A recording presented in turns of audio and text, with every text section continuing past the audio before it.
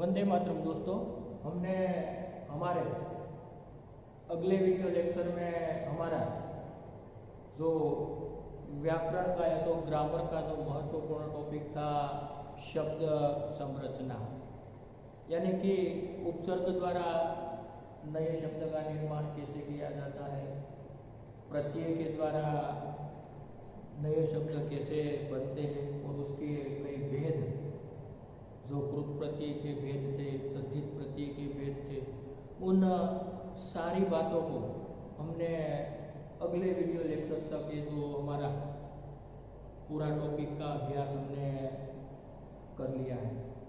तो आज से वीडियो लेक्चर में दोस्तों, हम हमारी नौवीं कक्षा की जो हिंदी की किताब है, जिसमें पहला चैप्टर यानी कि चैप्टर नंबर एक, आराधना। जो साहित्य प्रकार की दृष्टि से एक प्रार्थना काव्य है या तो प्रार्थना गीत है। तो सबसे पहले दोस्तों में ये पता होना चाहिए कि भाई आराधना क्या होता है? आराधना यानी कि पूजा। ईश्वर के प्रति की जाने वाली जो पूजा,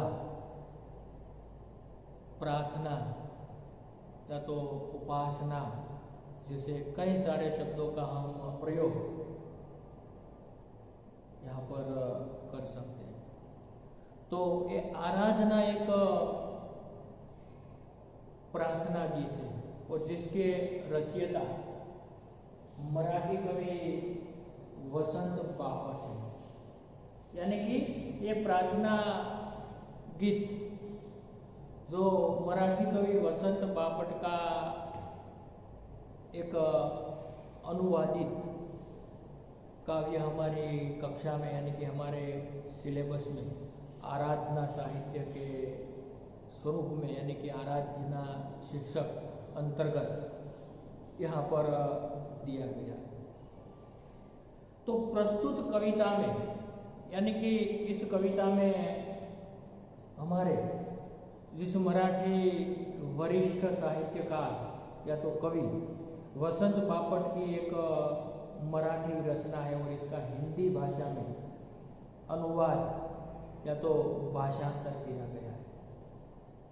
इस कविता में कहा गया है कि वे मानवता और बंधुता के प्रति प्रेम की सच्ची पूजा कि भाई मानवता के प्रति, बंधुता के प्रति, भाईचारा के प्रति जो रखा गया भाव, वही हमारे जीवन में एक प्रकार से सच्ची पूजा है या तो सच्ची आराधना है।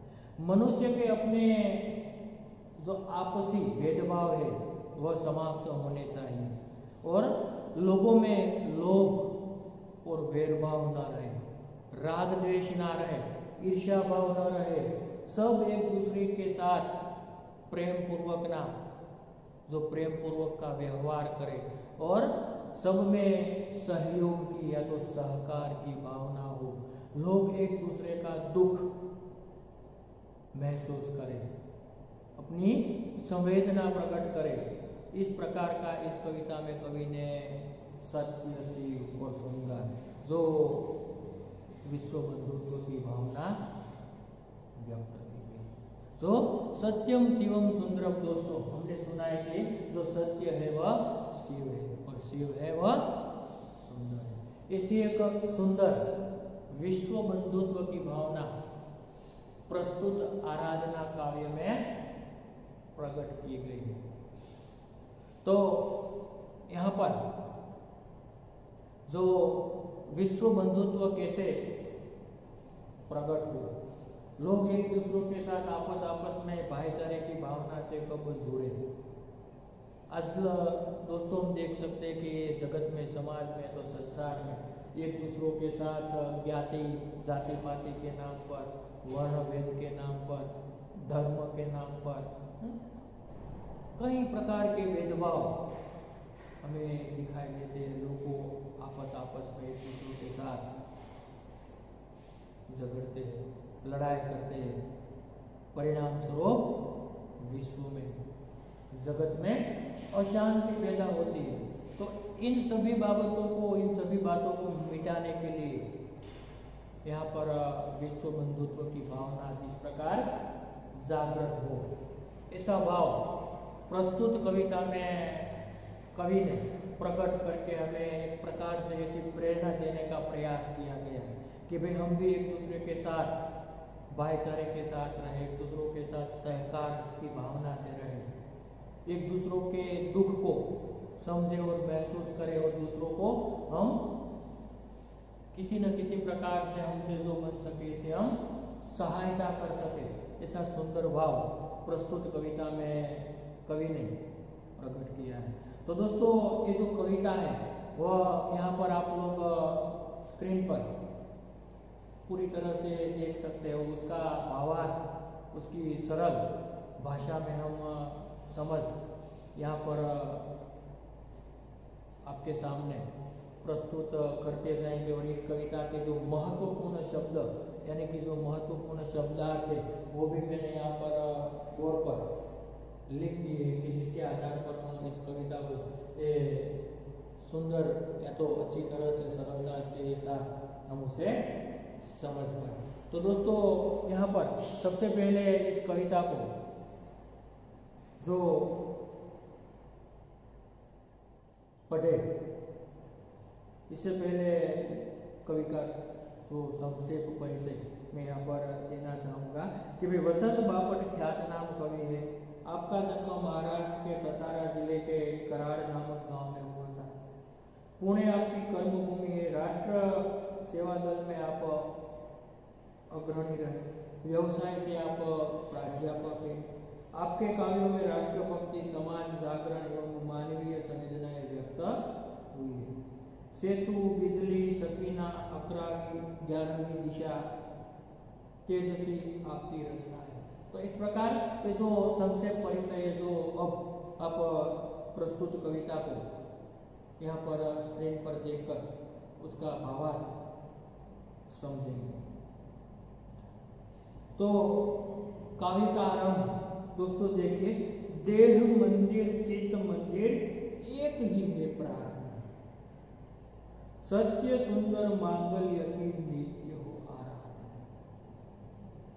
जैसे कि देह मंदिर, चित्त मंदिर, दोस्तों देह मंदिर, यानी कि देह रूपी मंदिर, चित्त मंदिर तो मन रूपी मंदिर प्रार्थना यानी कि आराधना पूजा निवेदन सत्य सुंदर मांगल्य की नित्य हो आराधना। तो यहाँ पर प्रस्तुत पंक्ति के माध्यम से कवि हमें कहना चाहते हैं कि भाई, क्या कहते हैं? कि कवि कहते हैं कि मेरी यही प्रार्थना है कि शरीर और मन से। क्या कहते मेरी यही प्रार्थना है कि शरीर और मन से सत्य से और सुंदर की आराधना सत्य सुंदर मान सत्य से और सुंदर की आराधना हो। लोग सच्चाई के मार्ग पर चले। क्या कहते हैं? लोग सच्चाई के मार्ग पर चले और उनके मन में सुंदर विचार और सब एक दूसरों के हित की बात। कि उन सभी के मन में सुंदर विचार आए और सभी एक दूसरे की हित की बात सोचे। एक दूसरे के अच्छे की कामना करें। सभी के मन में सुंदर विचार आए। सभी सत्य, सुंदर और शिव की आराधना करें। ऐसा प्रस्तुत दो पंक्ति में हमें इस प्रकार से कवि कहते हैं। फिर से एक बार दोहराते हैं कि भाई कवि कहते हैं कि कि भाई मेरी यही प्रार्थना है कि शरीर और मन से सत्य, सुंदर और या तो सत्य से और सुंदर की आराधना हो। लोग सच्चाई के रास्ते पर चले, लोग सच्चाई के मार्ग पर चले, उनके मन में सुंदर विचार आए। और सब एक दूसरे के साथ, या तो सब एक दूसरे के हित की बात सोचे। तो इसी प्रकार से आगे कभी कहते दुखिया रोका दुख जाए यही मन कामना, वेदना को परख पाने जगाए संवेदना। दुर्बलों के रक्षणार्थ पौरुष की साधना दोस्तों दुखियार यानी कि आज हम देखते हैं कि जगत में कई ऐसे जो पीड़ित लोग हैं, जो दुखी लोग हैं और उनका दुख नष्ट हो जाए। ऐसी कवि की मन कामना है दुर्बलों के रक्षार्थ दुर्बल, यानी कि कमज़ोर जो मैंने यहाँ पर लिखा है। दुर्बल लोग, जो कमज़ोर लोग है, उसके रक्षा के लिए, रक्षणार्थ, उसके रक्षा के लिए क्या कहते हैं? रक्षणार्थ पौरुष की साधना पौरुष यानी कि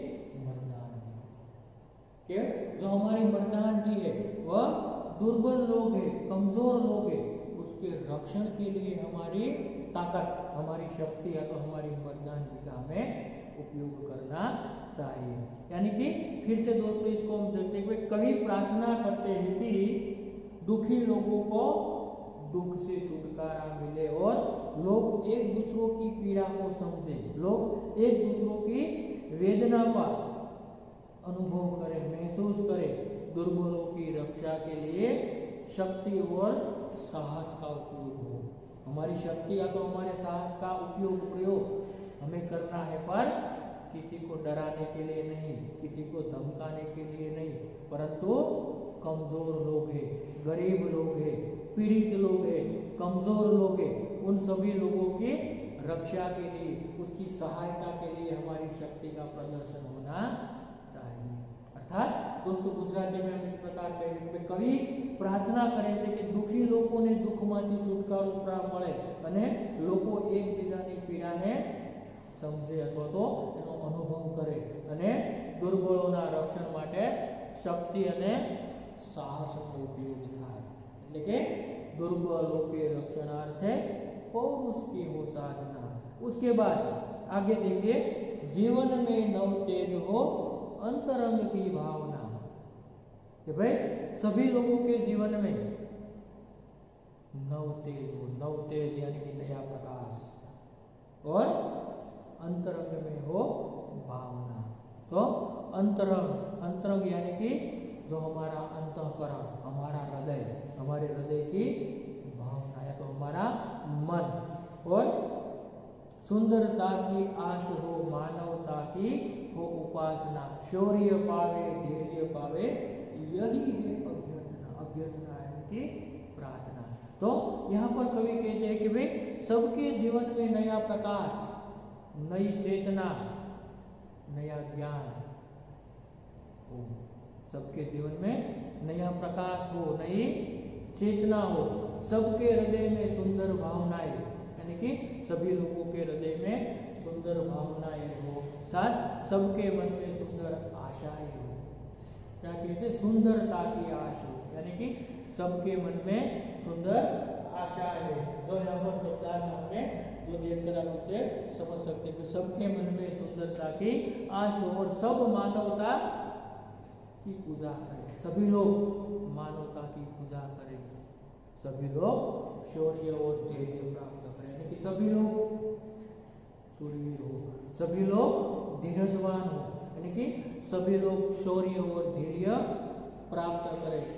यही मेरी प्रार्थना। है दोस्तों, एकदम सरल बात, एक जीवन में नव तेज हो अंतरंग यानी कि सभी लोगों के जीवन में एक प्रकार से नया तेज हो, नई चेतना हो, सबके हृदय में सुंदर भावनाएँ हो, सबके मन में सुंदर आशाएँ हो और मानवता के सभी लोग पूजा करें, सभी लोग शौर्य और धैर्य पाए। ऐसी मेरी ईश्वर से प्रार्थना और उसके बाद दोस्तों,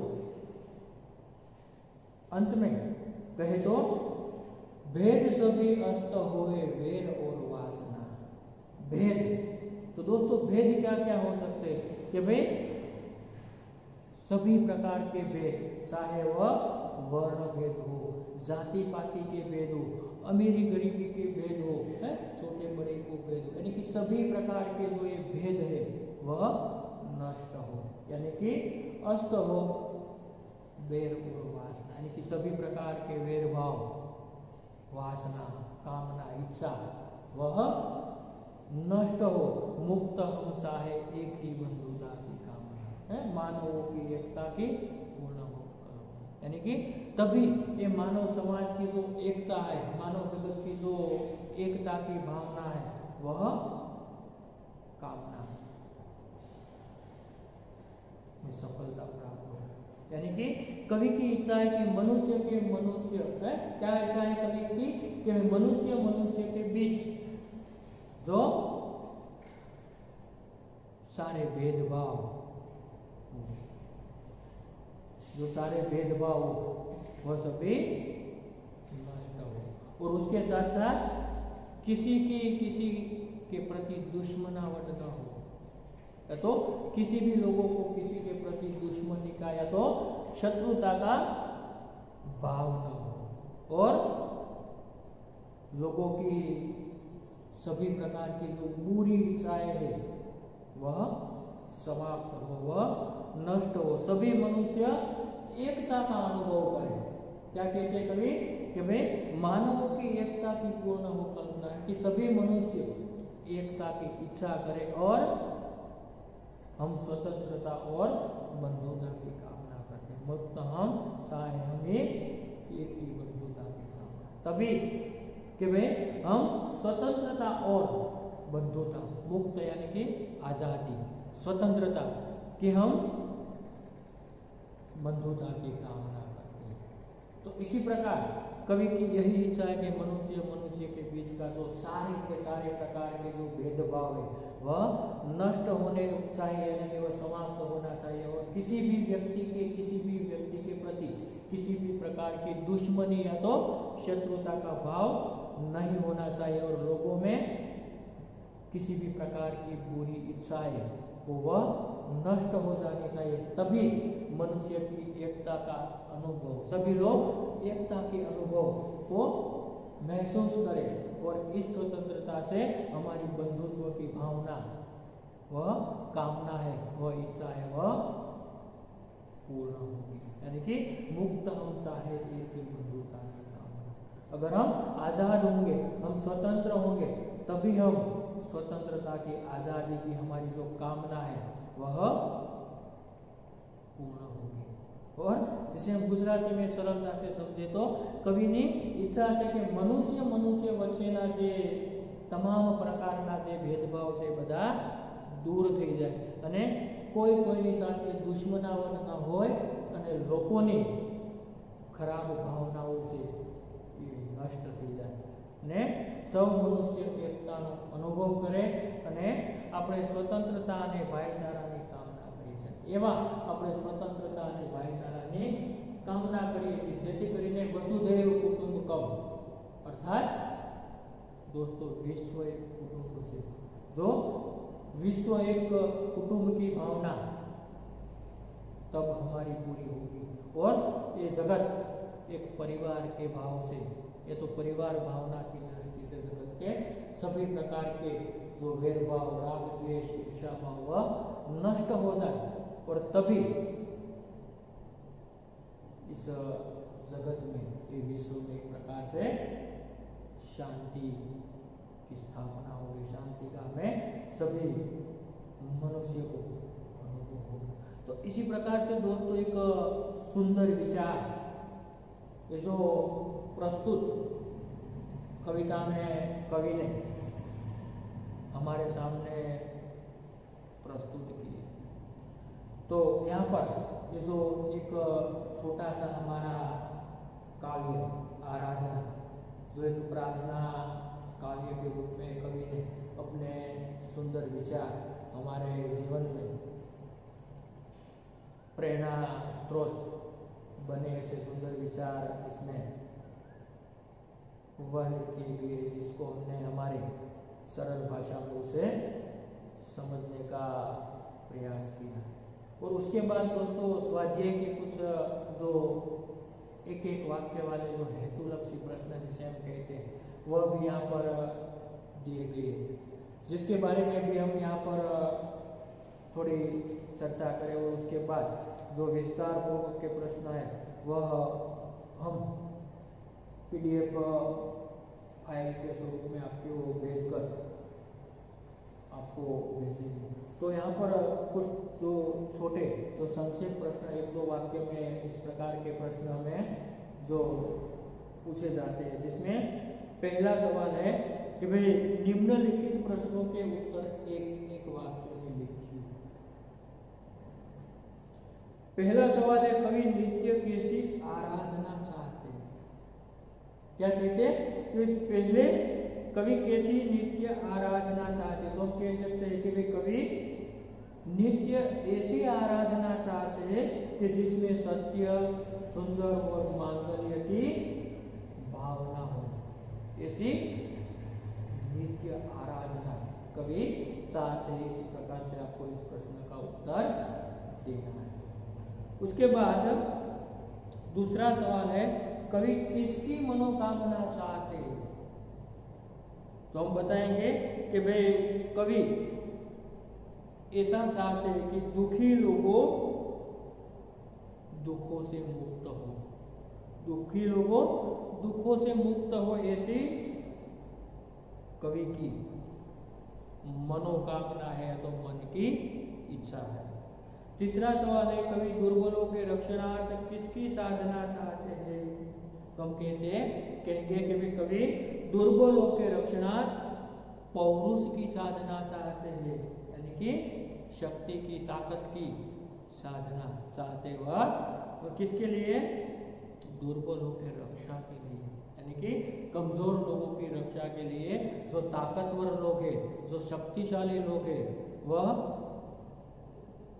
उसकी रक्षा करें। उसके बाद चौथा सवाल है कभी किसकी अभ्यर्थना करते कभी किसकी अभ्यर्थना करते तो हम कहेंगे कि कवि, सबके जीवन में नया प्रकाश, नव तेज, या तो नव चेतना जगाए, नव चेतना आए, ऐसी कवि की अभ्यर्थना है तो कवि अभ्यर्थना करते और पांचवा और अंतिम सवाल है, कवि कैसी बंधुता की कामना करते हैं? तो हम कहेंगे कि भाई, कवि ऐसी बंधुता की प्रार्थना करते हैं कि जिसमें सब स्वतंत्र होकर, सब आज़ाद होकर भी भाईचारे की भावना से जुड़े रहे सभी लोग स्वतंत्र होकर या तो आज़ाद होकर भी भाईचारे की भावना के साथ जुड़े रहे ऐसी कवि की बंधुता की कामना है।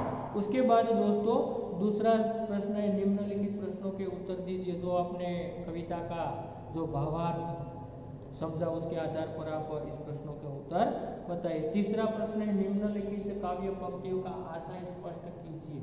तो दोस्तों, आशय क्या है? आशय यानी कि भावार्थ। जिस प्रकार हमने ये जो प्रस्तुत पंक्तियों का भावार्थ आपके सामने स्पष्ट किया, उसी प्रकार यहाँ पर जो आपकी ये प्रस्तुत कविता की जो दो पंक्तियाँ दी गई है, जिसका आपको भावार्थ, जिस प्रकार मैंने आपको भावार्थ लिखा है, उसी प्रकार उसका आशय, या तो भावार्थ आपको समझकर लिखना है। उसके बाद तीसरा सवाल है, काव्य पंक्तियों को पूर्ण कीजिए। जो दो काव्य पंक्तियाँ यहाँ पर दी गई है, उसका हमें, उसे पूर्ण करना है, और हमारी परीक्षा में ये काव्य पंक्तियाँ, जो पद्य विभाग में दो मार्क्स में ये काव्य पंक्तियाँ पूर्ण करने के लिए एक प्रश्न, एक सवाल पूछा जाता है। इसलिए आपको कुछ काव्य पंक्तियाँ भी याद रखनी पड़ेगी। और उसके बाद पांचवा प्रश्न है, विरुद्धार्थी शब्द लिखिए। तो यहाँ पर कुछ विरुद्धार्थी शब्द यहाँ पर लिखा है जो दोस्तों मैं यहाँ पर आपको बोर्ड पर लिख देता हूँ कि भाई, पहला शब्द है, विरुद्धार्थी तो जिसे हम कहते हैं विलोम शब्द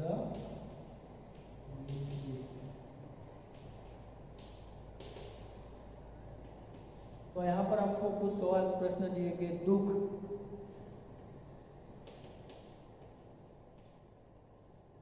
दूसरा है जीवन तीसरा शब्द है सत्य चौथा शब्द है सुंदर।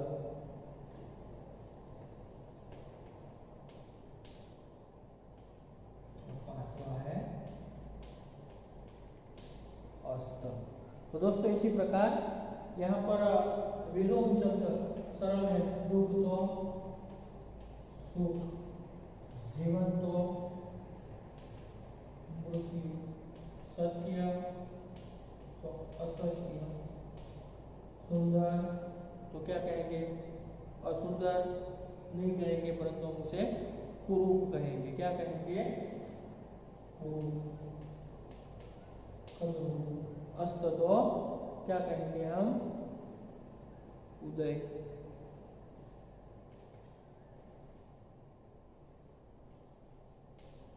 तो इसी प्रकार से यहाँ पर कुछ प्रश्न जो दिए गए, दुर्बल तो सबल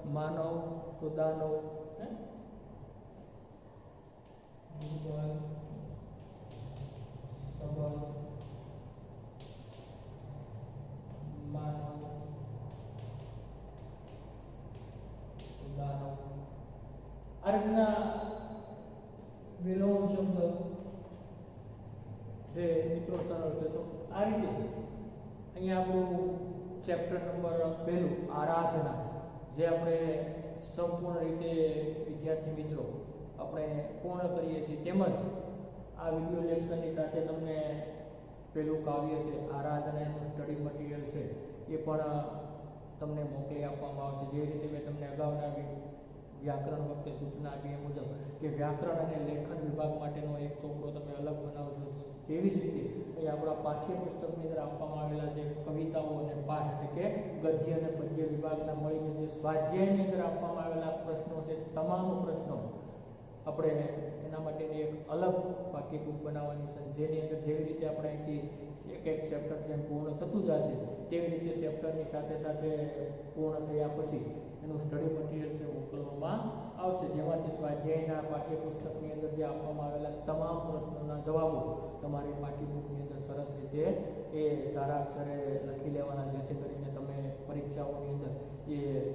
તમારી બુકની અંદર લખેલા, તમારા જાતે લખેલા પ્રશ્નોને તમે વાંચીને પરીક્ષાની સારી રીતે તૈયારી કરી શકો. એટલા માટે એ પેલું કાવ્ય અહીંયા પૂર્ણ કરીને મટીરિયલ્સ પણ તમને મોકલવામાં આવશે. જેમાંથી તમારે સ્વાધ્યાયના પ્રશ્નો ને તમારી પાકી અંદર લખી અને એની સરસ મજાની શરૂઆત છે આપણે કરીશું. અહીંયા આપણો વીડિયો લેક્ચર આપણે પૂર્ણ કરીશું. હવે પછીના આગળના વીડિયો લેક્ચરની અંદર આપણે નવા ટોપિક સાથે આપણે આગળ મળીશું. Thank you